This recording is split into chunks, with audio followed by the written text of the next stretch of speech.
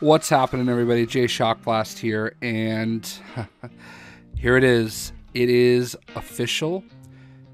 It is official. There's no other way to say it. Literally official. One of the biggest things that people have been holding on to for a very long time is the fact that Warner Brothers, TT Games, whoever you want to call it, had not officially announced anything in regards to LEGO Dimensions. We've been telling you, uh, a lot of us have been telling you for months and months and months, doesn't look good. There have been articles written, especially by Dan from bricks2life.com, uh, about this is done. Everything behind the scenes says it's done. You know, Eurogamer finally kind of forced their hand last week.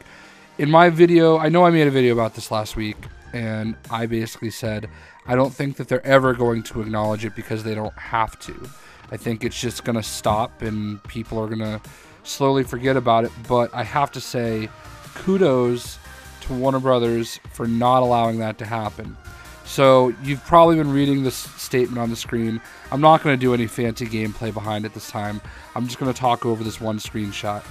Uh, Warner Brothers Interactive Entertainment, TT Games, and the LEGO Group would like to thank fans for the ongoing support of LEGO Dimensions.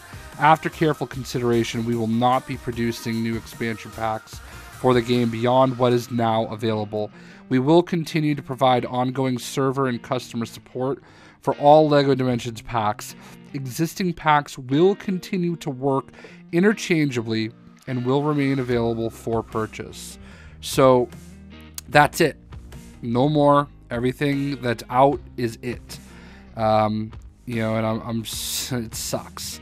Like I loved this game, as I've said before, and I will always say, uh, this game was phenomenal. It brought so many amazing franchises together that I never thought was possible.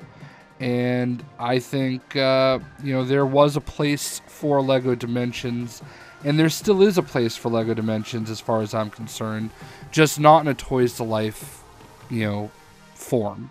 Uh, I really, really would love to advocate them finding a way to re release the game with all of the characters just as a normal Lego game.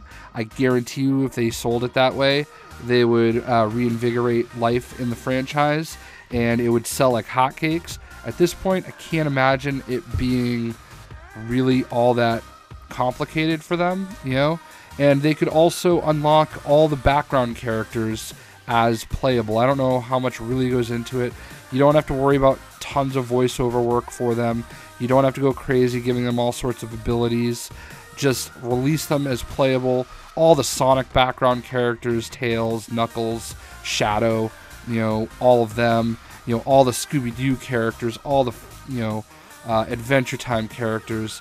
You know, everybody would be so cool to just be able to go into a big grid and access all those characters as playable. I think that's what a lot of people really wanted, and it's what I would really hope they could find a way to do. If they ever decide to do a LEGO Dimensions 2, uh, also should not be Toys to Life, and uh, I would hope that to make Lego happy, uh, they were able to you know release those blind packs. That was my those were my two big ideas that i had for making lego dimensions viable moving forward.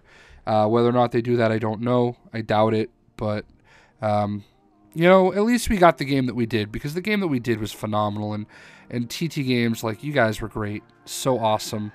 Sorry it came to this but it's official and nothing we can do about it. So uh, there's your official confirmation and uh, you know there have been some people that have been, uh, if I could be honest, pretty pretty terrible uh, to the people that were just telling it like it is, and uh, I hope those people have a miserable day because you know it was all there, and now it's official, and you're a terrible person.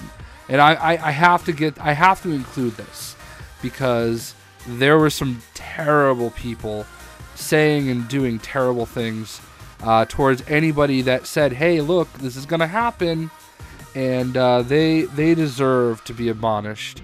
Um, you know, I understand, but uh, at the same time, you know, you live by your decisions. So that's it. Turn out the lights. We'll see you.